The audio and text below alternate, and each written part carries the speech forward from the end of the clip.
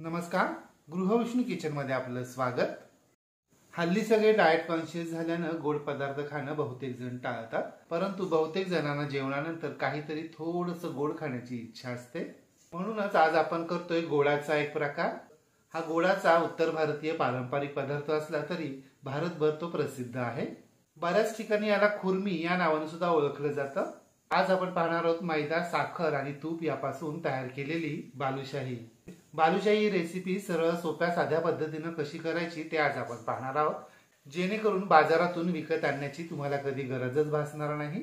चला तर सुरुवात करूया आजच्या रेसिपीला बाहेरून क्रिस्पी आतून सॉफ्ट रसरशीत खुसखुशीत बालुशाही. त्यासाठी लागणारं साहित्य. बालुशाहीसाठी चार वाट्या मैदा एक वाटी साजूक तूप पाव वाटी घट्ट दही एक टीस्पून बेकिंग पावडर अर्धा टीस्पून खाण्याचा सोडा चिमूटभर मीठ एक वाटी पाणी. पाकासाठी दोन वाट्या साखर एक वाटी पाणी केशर काड्या किंवा केशर सिरप किंवा फूड कलर पाव टीस्पून वेलची पूड.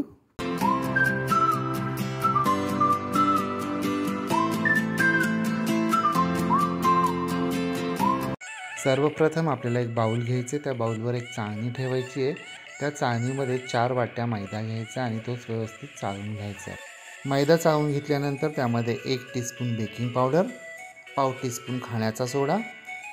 चिमूडभर मीठ घालून हे कोरडंच मिश्रण विस्करच्या साह्यानं मिक्स करून घ्यायचं आहे मिश्रण व्यवस्थित मिक्स झाल्यानंतर त्यामध्ये एक वाटी म्हणजे शंभर ग्रॅम साजूक तूप घालायचे व ते विस्करच्या साह्याने एक जीव करून घ्यायचं आहे विस्करनं मिक्स करून झाल्यानंतर आपल्याला ते हाताने व्यवस्थित मिक्स करून घ्यायचे हातानं मिक्स करून झाल्यावर अशा प्रकारे मुटका तयार व्हायला हवा म्हणजे आपलं तुपाचं प्रमाण परफेक्ट झालं आहे नंतर यामध्ये पाववाटी घट्ट दही घालायचं आहे व ते सुद्धा व्यवस्थित हाताने मिक्स करून घ्यायचं. आहे दही व्यवस्थित मिक्स करून झाल्यानंतर आपल्याला यामध्ये थोडं थोडं पाणी घालून हे पीठ एकत्र करून घ्यायचं. आहे लक्षात घ्या आपल्याला हे पीठ पुरीप्रमाणे किंवा पोळी चपाती करतो त्याप्रमाणे घट्ट मळायचं नाही आहे तर हे मिश्रण आपल्याला गोळा करत जायचं. आहे हे मिश्रण गोळा करताना त्याच्यावर अजिबात दाब द्यायचा नाही आहे फक्त ते गोळा करत जायचे. अशा पद्धतीनं मळल्यामुळे आपल्या बालुशाहीला मध्ये पदर सुटतील लेअर सुटतील आणि त्यामध्ये पाक व्यवस्थित मुरेल. आपलं सर्व मिश्रण एकत्र होऊन गोळा होऊन त्याचा एक गोळा तयार झाला आहे एवढं सगळं मिश्रण मळण्यासाठी आपल्याला पाऊन वाटी पाणी लागले. आपला गोळा तयार झाल्यानंतर एका चॉपिंग पॅडवर हा गोळा पसरवून घ्यायचा आहे पसरवून झाल्यानंतर अशा पद्धतीने सुरीच्या साह्याने त्याचे दोन भाग करायचेत. ते एकमेकांवर ठेवायचेत व पुन्हा ते स्प्रेड करून घ्यायचेत. व त्याचे पुन्हा सुरीच्या साह्याने चार भाग करायचेत. अशा पद्धतीने आपल्याला चार वेळा असं करायचं आहे यामुळे काय होईल? तर आपल्या बालुशाहीला मध्ये पदर सुटतील ती खुसखुशीत होईल त्यामध्ये पाक व्यवस्थित मुरेल आतून पोकळ होईल. परंतु पसरवताना त्यावर जास्त दाब द्यायचा नाही आहे आपल्या मिश्रणाचा व्यवस्थित गोळा तयार झाला आहे आता तो एका बाऊलमध्ये ठेवून झाकून बाजूला ठेवून द्यायचा आहे. तोपर्यंत आपण बालुशाहीला लागणारा पाक म्हणजे साखरेचं सिरप तयार करून घेऊया. या यासाठी एका कढईमध्ये दोन वाट्या साखर व साखरेच्या निम्म म्हणजे एक वाटी पाणी घालायचं. आहे साखर व्यवस्थित विरघळवून घ्यायची आहे. साखर मंद आचेवर विरघळवायची आहे. साखर विरघळल्यानंतर त्यामध्ये आपण हे ग्लुकोज सिरप घालायचं. आहे ही एक स्पेशल ट्रिक आहे. यामुळे आपल्या साखरेचे खडे तयार होत नाहीत. हे सिरप खूप घट्ट असतं उलट केलं तरी ते खाली पडत नाही. आपल्याला हे मिश्रण पाव चमचा घ्यायचे आणि ते साखरेच्या पाण्यामध्ये विरघळवायचे त्यानंतर आपण त्यामध्ये दहा बारा केशराच्या काळ्या घालायच्यात. आपल्याला इथे गोळीबंद पाक करायचा नाही आहे तर जिलेबीसाठी लागणारा गुलाबजामसाठी लागणारा असा पाक तयार करायचा. आहे हे पहा शेवटचा थेंब लवकर खाली पाडत नाही आहे अशा पद्धतीचा आपल्याला पाक तयार करून घ्यायचा आहे आता झाकून ठेवलेलं पीठ आपण हलक्या हातानं थोडंसं मळून घेऊया. या मिश्रणातून लिंबा एवढा एक गोळा घ्यायचा आहे व तो हातावर अशा पद्धतीने गोल गोल फिरवून नंतर थोडासा हलक्या हातानं प्रेस करायचा आहे प्रेस करून झाल्यानंतर यामध्ये लाटण्याच्या किंवा रवीच्या साह्यानं अशा पद्धतीनं एक आरपार होल तयार करून घ्यायचं आहे तुम्ही हाताच्या बोटाच्या साह्यानं मधोमध असं होल तयार करून घेऊ शकता. परंतु असं करताना काय होतं? तर थोडासा गोळा विस्कळीत होतो त्याच्यावर जास्त दाब पडतो. म्हणून आपण हे लाटण्याच्या किंवा रवीच्या साह्यानं असं होल तयार करून घेतो आहे इथे एक गोष्ट लक्षात घ्या आपली बालुशाही प्लेन होता कामा नये. ती खरबडीत दिसायला हवी. तिच्यावर सर्व बाजूंनी लेअर दिसायला हवेत. जर तुमच्याकडून प्लेन पीठ मळलं गेलं असेल तर असे बालुशाहीला लेअर येणार नाहीत. अशा पद्धतीने सर्व बालुशाही आपण तयार करून घ्यायची. एवढ्या मिश्रणामध्ये जवळजवळ पंचवीस ते तीस बालुशाही तयार होतात. अर्थात हे तुम्ही केवढा आकार घेतला आहे त्यावर अवलंबून आहे. अशा पद्धतीने आपल्या निम्म्या मिश्रणाची बालुशाही तयार करून झाली आहे. निम्म मिश्रण आपण बाजूला ठेवतो आहे ती आपण नंतर करणार आहोत. हे पहा आपली बालुशाही प्लेन दिसते का? तिच्यावर लेअर तयार झाले ती खडबडीत झाली आहे आता ही बालुशाही आपण मंद आचेवर तळून घेऊया. बालुशाही तळताना आपलं तेल अगदीच कोमट असायला हवं.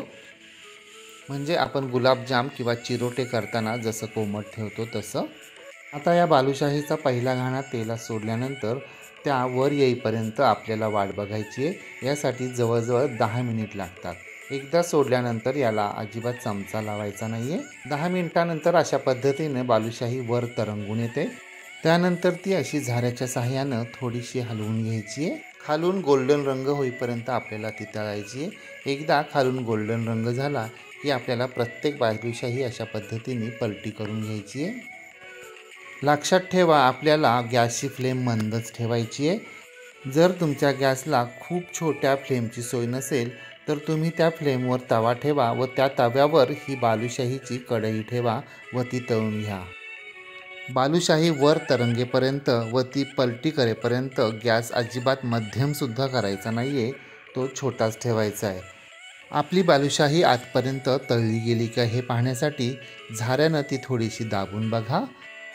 जर बालुशाही कडक लागली तर ती लगेच काढून घेऊन एका चाळणीमध्ये ठेवायची हे पहा आपले बुडबुडे पण कमी झालेले आहेत आणि बालुशाही झाऱ्याला कडक पण लागते आपण ती काढून घेऊन एका चाळणीमध्ये ठेवूया. कलरही परफेक्ट गोल्डन ब्राऊन आला आहे आता एक एक बालुशाही आपण अशा पद्धतीने साखरेच्या पाकात सोडूया. साखरेच्या पाकात सोडल्यानंतर त्यावर अशा पद्धतीने चमच्याच्या साह्यानं पाक उडवायचा आहे म्हणजे खालून वरून सर्व बाजूंनी बालुशाहीमध्ये पाक मुरला जाईल. जर आपला पाक थंड झाला असेल तर तो थोडासा सोडण्याआधी गरम करून घ्यायचा आहे व त्यानंतर त्यामध्ये बालुशाही सोडायची आहे वरून पाक उडवून झाल्यानंतर ती पलटी करून घ्यायची आहे व बालुशाही पाकामध्ये अशीच पाच ते सात मिनिटांसाठी पाक मोडण्यासाठी ठेवून द्यायची आहे. परंतु जास्त वेळसुद्धा ठेवायची नाही आहे. अशा पद्धतीने आपण सर्व बालुशाही तयार करून घेऊया व त्या तळून घेऊन पाकामध्ये सोडूया. तेव्हा आपण बालुशाहीचा पहिला घाणा तेलामध्ये सोडतो व त्या तरंगून येण्याची दहा मिनटे वाट पाहतो. त्या दहा मिनिटांमध्येच आपल्याला बालुशाहीचा दुसरा घाणा तळण्यासाठी तयार करून घ्यायचा आहे.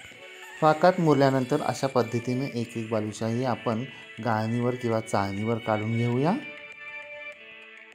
आता आपण दुसरा घाणा तळण्यासाठी घेऊया. दुसरा घाणासुद्धा आपल्याला अशाच पद्धतीने तयार करून घ्यायचा आहे. दुसरा घाणा तळताना एक गोष्ट लक्षात घ्या. आपलं तेल जास्त गरम झालेलं असतं. ते थोडंसं थंड करून घ्यावं लागेल. व त्यानंतर आपल्याला बालुशाहीचा दुसरा घाणा तळून घ्यावा लागेल. आपला दुसरा घाणाही व्यवस्थित तळून झाला आहे आता तोसुद्धा दहा मिनिटांसाठी पाकामध्ये सोडूया. तुम्हीसुद्धा ही रेसिपी करून पहा व कशी झाली ते कमेंट बॉक्समध्ये मला नक्की सांगा. रेसिपी आवडल्यास लाईक शेअर कमेंट करायला विसरू नका.